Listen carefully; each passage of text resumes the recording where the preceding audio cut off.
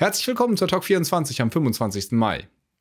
Die Gematik startet mit der Ausgabe der elektronischen Heilberufausweise für Pharmazieingenieure und Apothekerassistenten. Damit sollen auch diese beiden Berufsgruppen fit fürs E-Rezept gemacht werden. Den EHBA benötigen sie unter anderem, um Änderungen auf Rezepten vorzunehmen, die qualifiziert elektronisch signiert werden müssen. Der Pharmakonzern Bayer steigt beim Unternehmen Natsana ein. Der Anbieter hochwertiger Nahrungsergänzungsmittel vertreibt seine Produkte bislang im eigenen Webshop, über Amazon und in Drogeriemärkten. Bayer beteiligt sich mit 30 Prozent.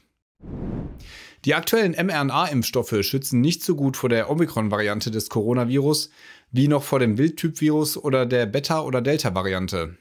Die Hersteller BioNTech und Moderna arbeiten daher an überarbeiteten Impfstoffen. Diese werden voraussichtlich im Herbst zur Verfügung stehen. Ebenfalls kurz vor der Zulassung steht der erste echte Totimpfstoff des französischen Herstellers Valneva. Die Hager Apotheke in Ostfriesland ist eigentlich schon seit mehreren Jahren geschlossen.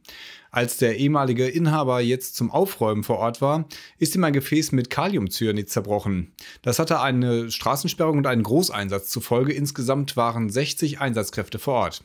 Vielen Dank fürs Zuschauen und wenn Sie mögen, sehen wir uns am Freitag wieder.